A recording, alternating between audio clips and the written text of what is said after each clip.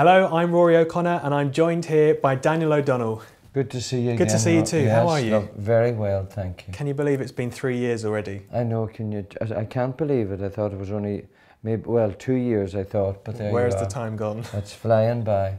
But you've kept yourself busy. I, I've been busy enough, uh, travelling a lot and recording a bit and enjoying it, so it's, it's, it's not been a bad three years. And since I saw you last, you've broken your own world record. So- Congratulations. So, they tell me. yes, it's, it's great. You know, people are very supportive uh, when we put out albums. They're they're there just always to, to, to buy them, and it's incredible. I suppose to to have the 31 years in the charts is a lot. Now you've got a new album out in the charts. I've got it here, Walking in the Moonlight. That's right. This album is um, well, the, Walking in the Moonlight. There's actually two CDs in the in this set. Uh, the, the the record company put together a, a bonus CD of songs that I'd recorded on various CDs through the years. But the Walking in the Moonlight is the title track is an original written by Pat McLean from County Donegal, and I loved it when I first listened to it. I loved the song. And the album really is a collection of songs, a lot by Irish writers, uh, a number of originals, but um, a lot that, that have been recorded mainly by the writers themselves, uh, so they're not widely known. And I've been collecting them for a wee while, and uh, delighted to get to get the album done. So I hope people will enjoy it. Absolutely. I mean, there's already been a cute, great response from it because Mm. it's it's reached into the charts. That's right, yeah. And um, I suppose I'm always uh, amazed at getting into the charts because, you know, the type of music I do is it's not on the radio every every day or you know. So Well, it depends. It's- depends. I just did a road I- trip around Ireland. I well, that's a different. that's a different. But I'm, I suppose over here in, in the UK you don't hear it, and I, we're lucky in Ireland, you know, that we have so many local radios um, that that play the the country music and Irish music. Um, it's different, I suppose, over here in the UK, and that the, a lot of the, the, the shows that used to play music from myself and other people, I suppose, a bit like me, um, a lot of them have been taken off the air now, whether they've no money to put them on or they seem to be grouping um, like All the radio stations yeah, together. you know yeah. that you play uh, uh, in London and it's heard, maybe uh, London is a bad example. Maybe in, in Scotland it's played in Glasgow, and that's what's gone out all over Scotland, or it's in Inverness and it's gone out. So they can't be local.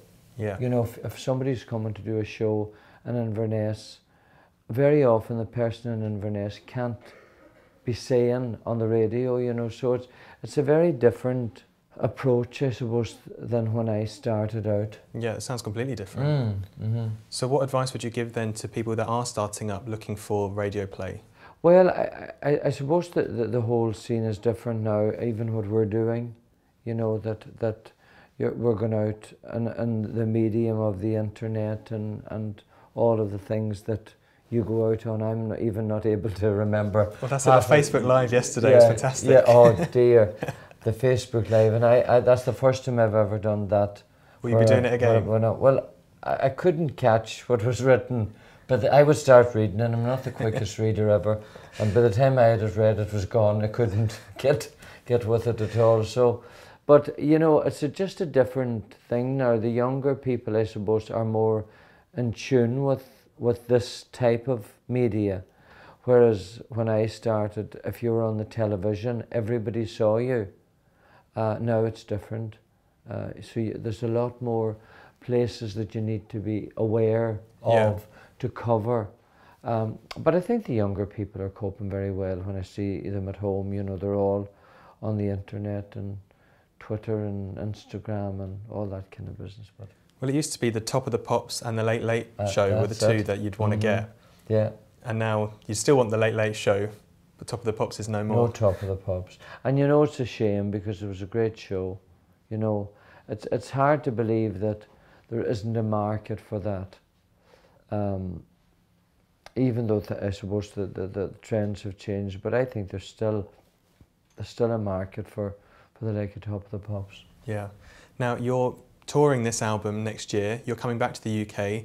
Um, I've got four dates in front of me. Short, short tour in May. We will come back in October, and that tour has kind of been finalised at the minute, which is very late because usually the, the tours are done way ahead of time, but um, they're putting it together. But we will be in, in Bournemouth uh, on the 3rd of May, Stevenage on the 4th, Southport on the 5th, and Aberdeen on the 6th.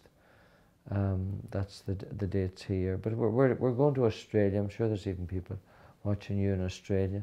We're going there in um, in February, March, and we uh, that's two years since we were there now. And then on the way home, we're going to Sri Lanka. That's fantastic. Yeah, we've been there a few times, and I'm amazed because they don't. We're there like in March, the middle of March, and they're not selling the tickets till the end of February. Now, how cool, how cooler and relaxed are they? And it will sell out. Well, it's amazing how the different countries do things differently.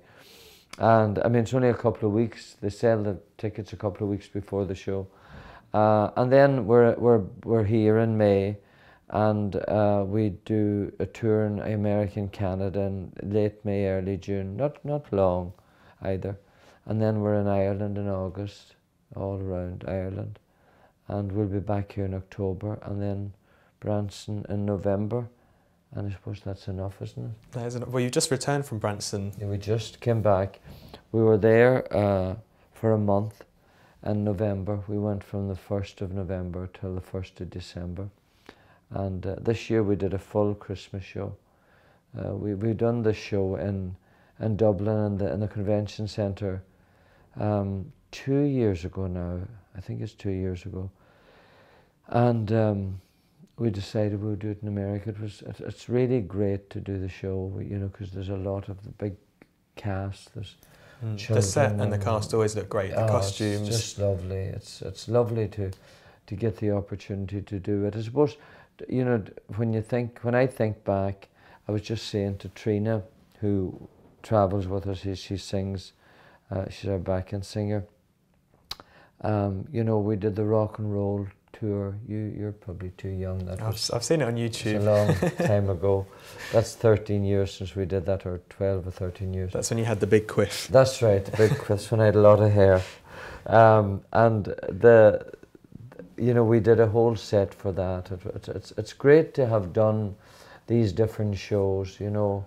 And the inspirational shows were, were great to do. So I suppose to get the, to do the Christmas show at the level we did it was was lovely. And earlier this year, you performed for the Pope. Yeah, that was a great, uh, a great thrill to, uh, you know, to, to be involved in that show, and amazing to stand and look down and see the Pope down in front of you. Um, and then the next day after the concert, I sang before the mass. You're in Phoenix, in Phoenix Park. Park. I loved that even more than the night before, because I suppose I felt the song was more appropriate. Yeah. Um, we were we were you know it was we were given what we would sing uh, but but it's lovely to sing the, the hymns. I love I love the inspirational songs too. Yeah. How far in advance did you know about that? Oh good wee bit in advance. Did you have to keep it secret early for a while? in the year. I think they didn't yeah they didn't announce it until it was near time to, um, to well maybe about a month or six weeks before. That's quite a big one to keep under wraps. I know but I kept Strictly under wraps too, so I did well. You did. Mm. And how are you watching Strictly this year? I haven't seen a lot of it because we've been away. I just saw the results show on Sunday, and uh, I'll not see the live uh, show this week because we're we're doing a show in, in Castlebar that night. But um, it's amazing. I watch bits on the you know the, the internet. May. Have you picked your favourite for this year then? Um, it's hard to pick, you know. I'm back in Stacey. Oh yeah. Yeah, I think she's come a long way. Yeah, yeah. It's hard to know. I suppose it depends. Well, I hope the public always picks somebody that the feel has improved. Yeah. Yeah. Have you been keeping up your own moves since Strictly? Oh sure. My own moves wouldn't be hard to keep up. and you know, I love dancing. I love dancing, but the whole thing, I could not get to grips with with Strictly at all. I couldn't remember what I was supposed to do when I went out on the floor. And um, I remember the day we did the cha cha cha. There was two bits where we sort of went down on our knees and back up again in the middle, and then at the end, that's how we ended. when I got to the middle and went down the knees, I thought that was it over. and Kristina just yanked me up off the floor.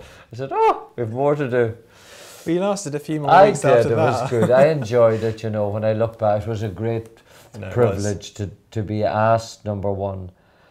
And there was a great group doing the the show that year. I mean, I never, I never thought I would be be asked even to do it, and uh, but it was great.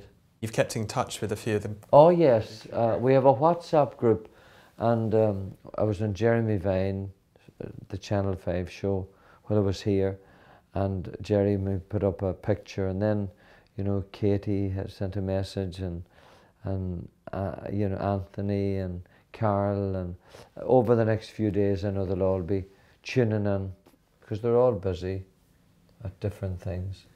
So, with your album in the chart this year, Daniel, you've had one every year. Does that mean you're already working on the next one? Are you already busy behind the scenes? Well, I'm always kind of looking at songs, you know. I'm not sure what we'll do this year.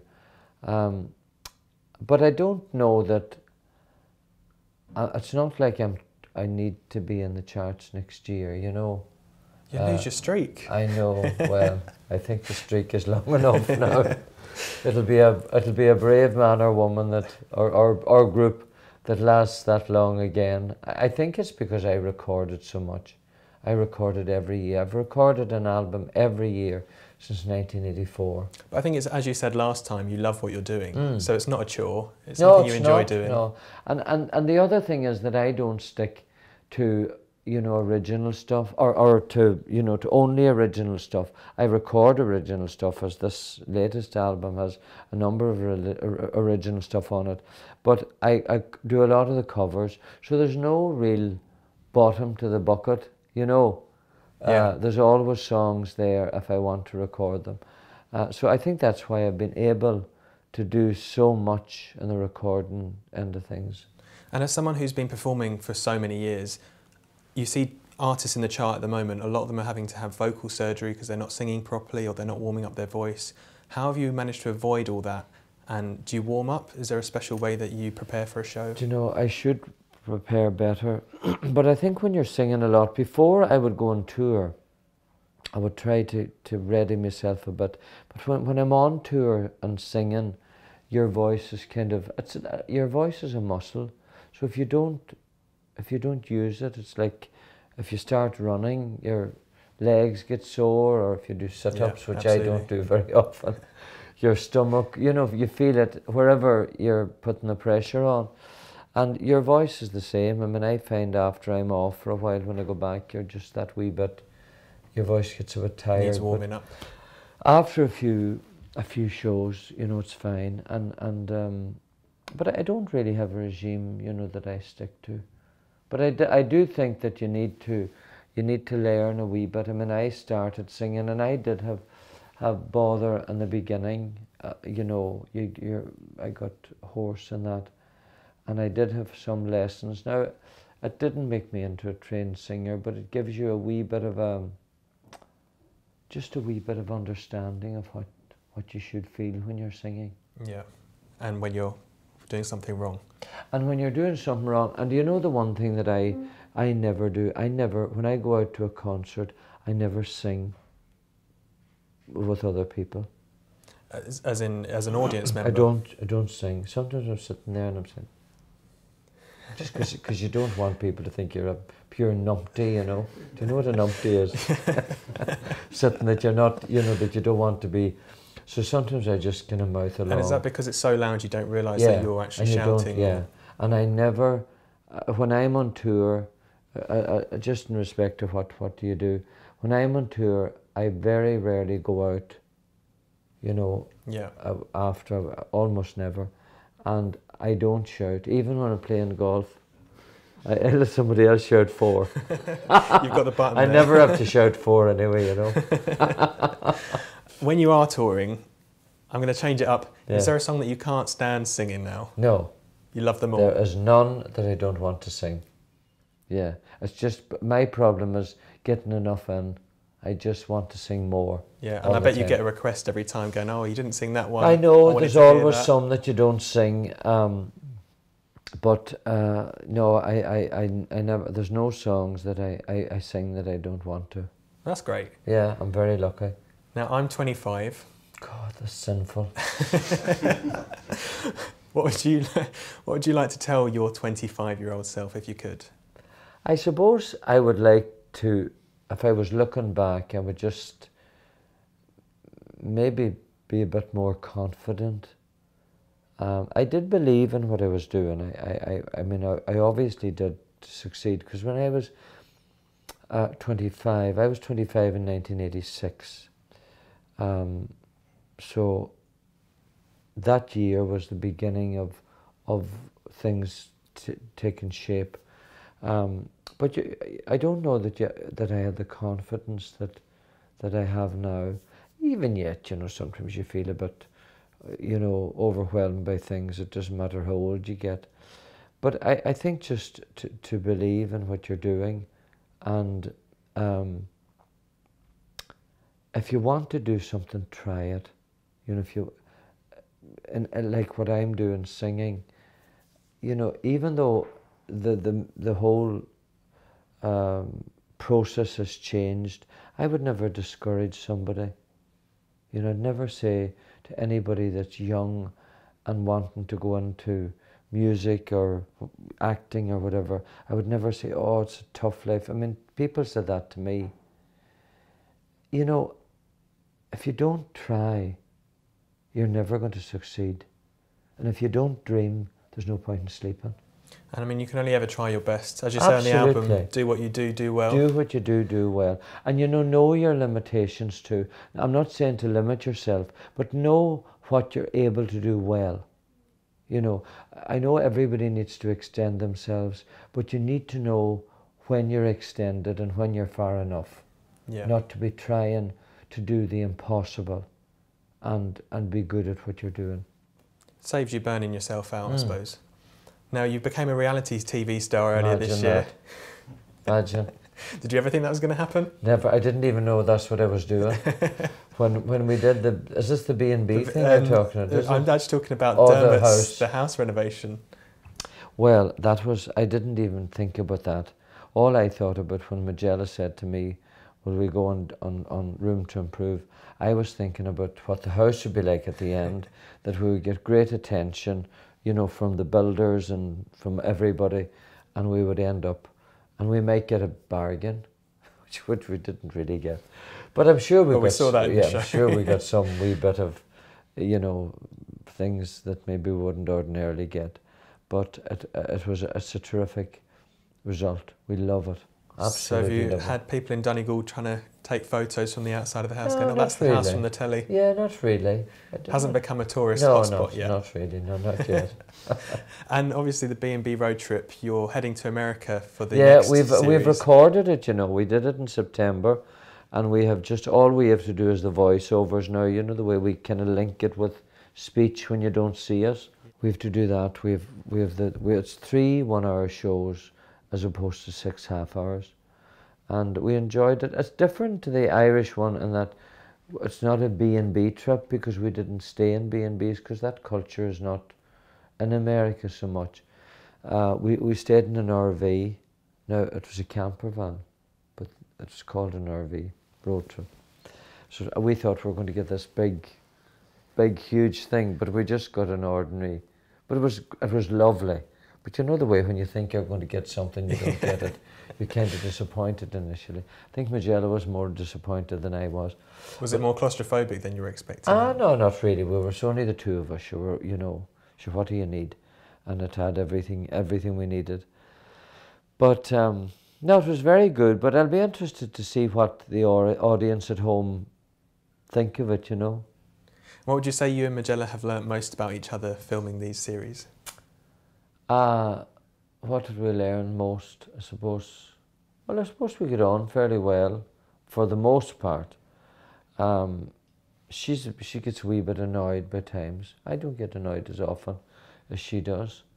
I don't think, and um, she'll kill me for saying that now, you know. and um, of course, she just loves to drive, and I don't mind sitting back. Yeah. Well, it's on the other side of the road, I did get to drive once in America.